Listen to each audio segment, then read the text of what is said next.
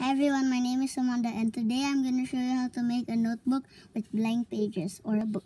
So you need a piece of blank paper, some scissors, and colored paper, but it's just optional. And this is a little example. And the inside is blank. And I forgot to mention that you need staples too. So, first, you need to get the blank paper and fold it in half and keep folding it in half. Depends how many pages you want or how big you want it.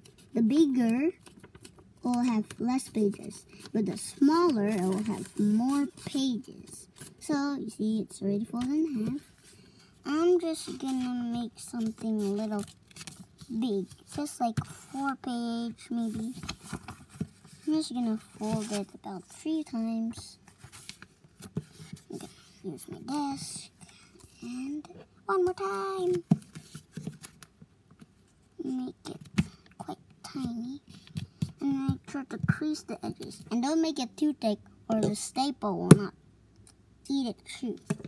So now that you got this thing, you need to go, if you have colored paper, First, you need to cut the colored paper into, so you open it first, and take the colored paper and measure, and then you can fold it again. But I'm just going to make it white, so yeah. And now, get your staples. You can staple it, you just fold it, and then you can staple, or you can open the book from the half, and then put your staples through, and it'll look more cool. But my staples are not long enough, because it's tiny, well, tiny from this angle. Okay, so now I'm gonna staple it. I'm gonna make some yummy. So eat it. There you go. You can put two or three, but don't put too much. I'm just gonna do it the easy way. There you go, done. It's not done yet because you need to take the scissors and comment down below before I cut the stuff. Comment down below what I'm going to use with the scissors. So the answer is I'm going to use the scissors and you see the little line there?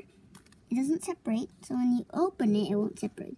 But when you cut that part, this part, yum yum yum, you cut that part, you open it, it'll look like a real book. So we're going to cut that part. So that's why you don't make it too thick. Or the scissors might also not cut other than the staples. And Make sure to check every part because some parts might be hidden and you don't even know. So now we're going to cut it up. Cut, cut, cut, cut, cut.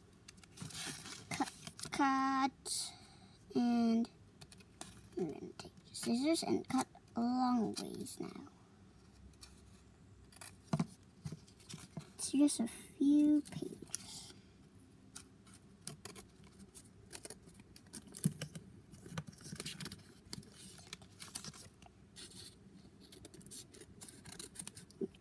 Cut, cut, cut, cut. Just ripped that part accidentally. Who cares? I have a billion notebooks that I made in the past. So it's okay if this one's not that perfect.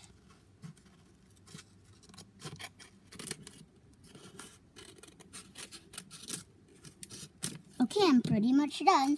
So, you can open it and there's a lot of pages and you can't see the staples because I stapled it the easier way.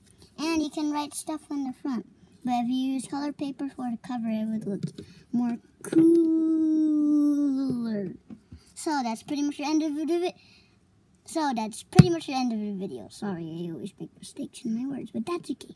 So if you like this video give it a big thumbs up and subscribe to my channel. Bye